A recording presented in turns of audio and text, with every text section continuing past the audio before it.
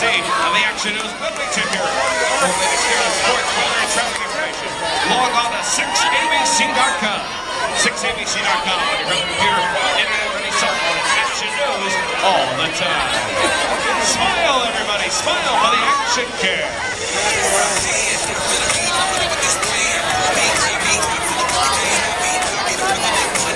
James.